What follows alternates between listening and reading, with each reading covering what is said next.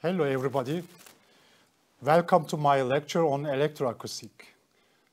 I am very happy today that you have decided to watch this lecture. My name is Ercan Altinsoy. I will start this lecture with a short introduction. Electroacoustic is a very important subject. Electroacoustic devices plays in our daily life very important role also for modern communication society. Therefore, we use a lot of electroacoustic devices and we would like to describe them. We would like to give some requirements for such kind of this, uh, systems.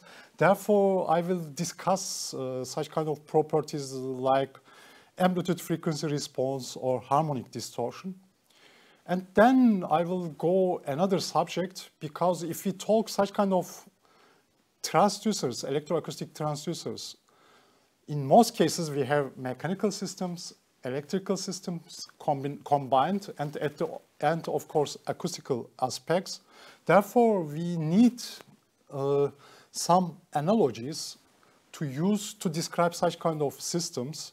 And therefore, I will talk on the electromechanical and electroacoustical analogies. And then another important topic is, of course, uh, transducers, loudspeakers and microphones, headphones and earphones. I will talk about such kind of transducers and I will finish my lecture with what is new in this field and describe some recent developments in this field. Electroacoustics, as I already said, that is a fascinating and challenging field in engineering because our products can be audible. And we can decide that if we have good or bad system. And therefore it is very meaningful for communication society.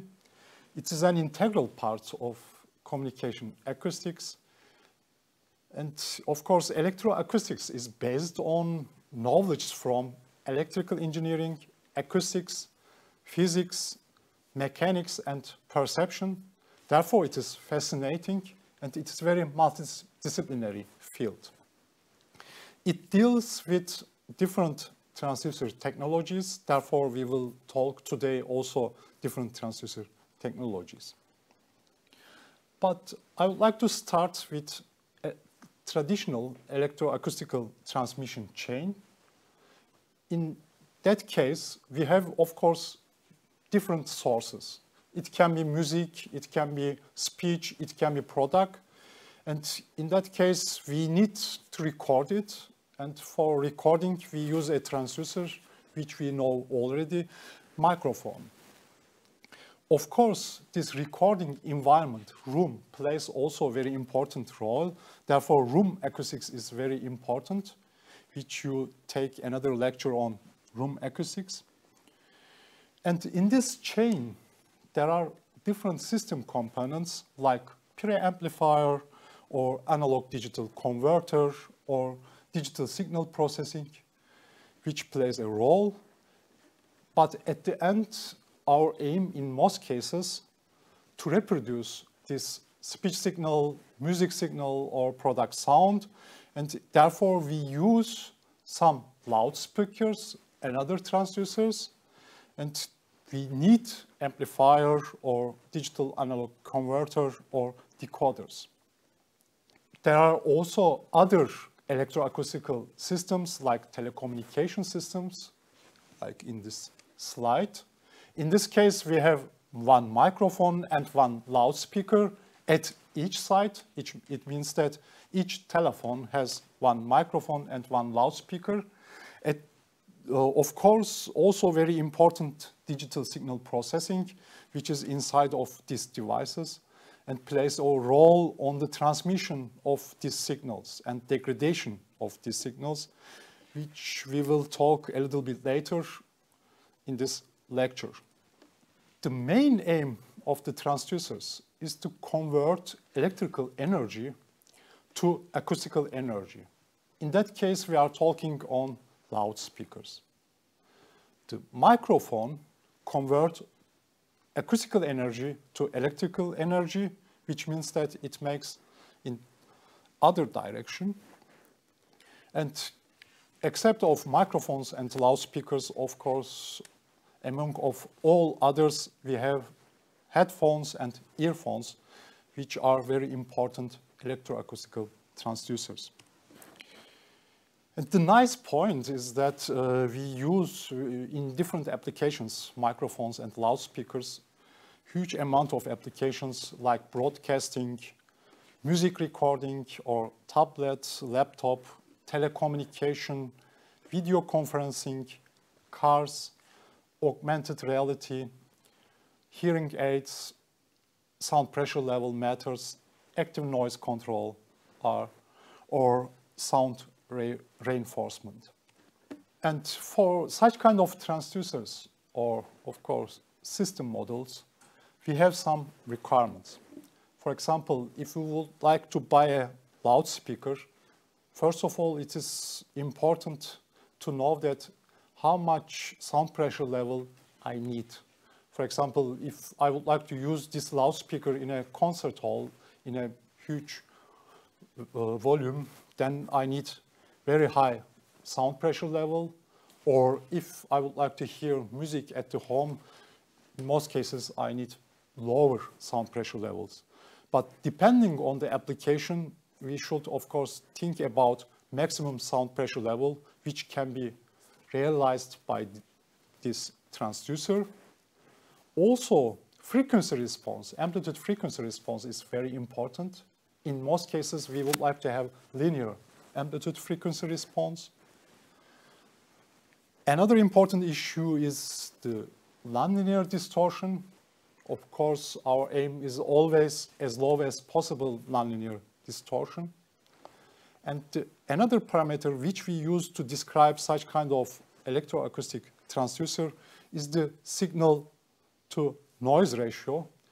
It is defined as the ratio of the power of a signal and power of background noise.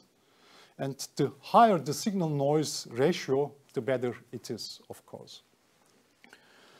Another important aspect is directivity characteristics and smoothly changing polar characteristics with frequency is always very helpful for us and for good quality.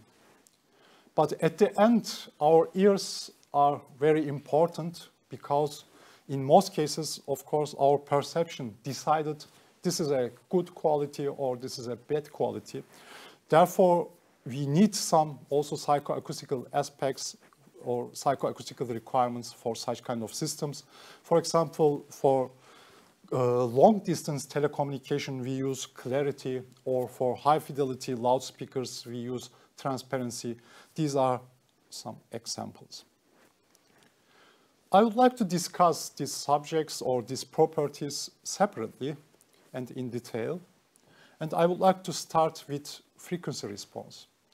As I already said that from our microphones or from our loudspeakers, we would like to have that flat frequency response. It means that in our audible frequency range from 20 hertz to 20 kilohertz, we would like to have that this transducer doesn't cause any distortion. And of course, in this case, there are different kind of aspects like, for example, our frequency response can be wavy like ripple, or it can be flat, or of course we can have some dips or peaks. It means that in that frequency range, our music signal or uh, speech signal will be amplified or lowered. And of course, we don't want to change our input signal uh, because of our system. The nice solution for such kind of linear distortion, actually we describe frequency response analysis as linear distortion, is the, and the solution for it is the frequency dependent equalization.